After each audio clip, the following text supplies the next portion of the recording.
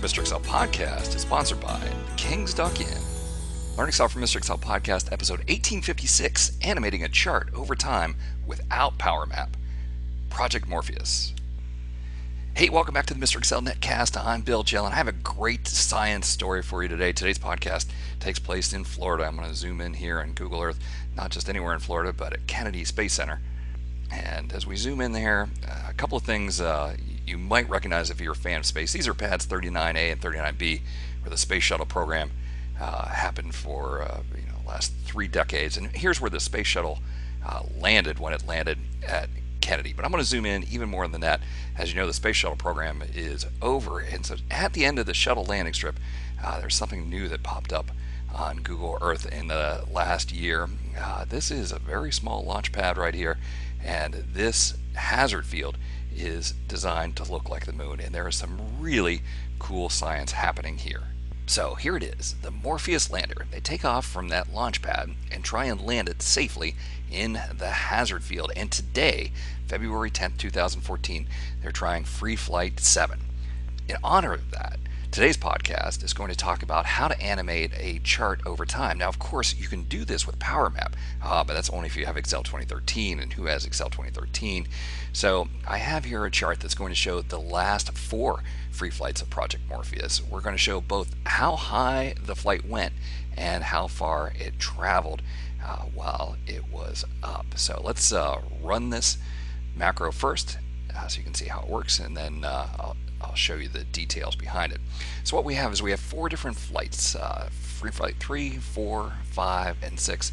And this chart is animating the initial ascent uh, where it takes off and reaches some sort of an altitude. And each test has gone higher and higher and higher. And then once they reach that altitude, uh, they have vertical or horizontal thrusters that can move uh, the lander over that test field and they're trying to avoid the rocks and the craters and figure out a good place to land. So uh, this one, Free Flight 6, uh, was the uh, last one before today. Uh, they went up to uh, the height of the Statue of Liberty and uh, then out a fair distance. you can see that they went a lot further in Free Flight 6 than they did in 5, 4, and 3. So there's our animated chart showing that both uh, in accurate time, so uh, the flights lasted anywhere from uh, 60 to 76 seconds, uh, shows the actual height and the actual distance traveled. Uh, down here, I've taken those uh, four bits and shown them separately. sometimes it's hard to see what's going on here. so that one of the flights, I think it was flight 4, actually paused for a while. So let's reset. We'll take a look down there.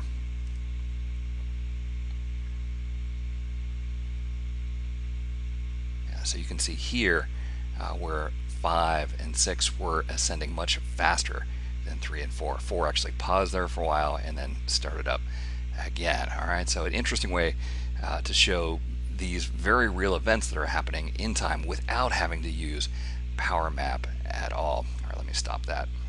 All right, so the first thing first thing you need to do is just have uh, an XY scatter chart and I'll scroll down here you'll see that here is the data for the uh, four free flights, the time, the distance, and then the height.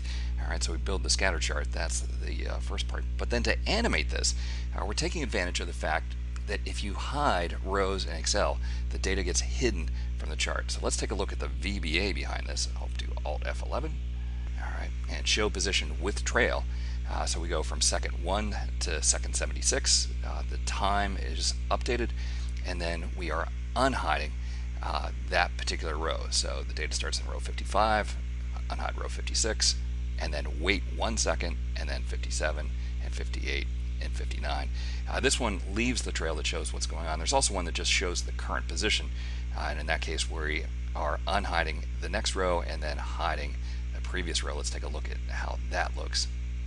Alright, so here this is just showing the position of each of the four different launches uh, in relation to each other. And that's actually helpful uh, you know, for seeing that Free Flight 3 stopped here. When all four of them were leaving the trail, it was tough to see uh, exactly what was going on. So there's uh, you know, the uh, going across.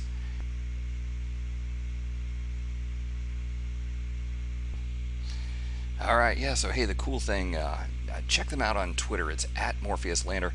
Uh, probably today, somewhere uh, early afternoon, they're going to attempt Free Flight 7, where they're going to uh, try to get up to 465 feet and out uh, 636 feet. So definitely more awesome, as they say. Really cool science happening at NASA with this Morpheus lander.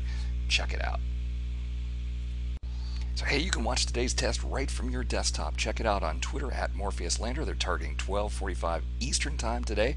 Uh, they will usually tweet out a link for the live feed. All right, well there you have it. Best of luck to Project Morpheus today, and for everyone else, check them out. Check out their Twitter feed. Lots of great science happening there. I want to thank you for stopping by. We'll see you next time for another netcast from Mr. Excel.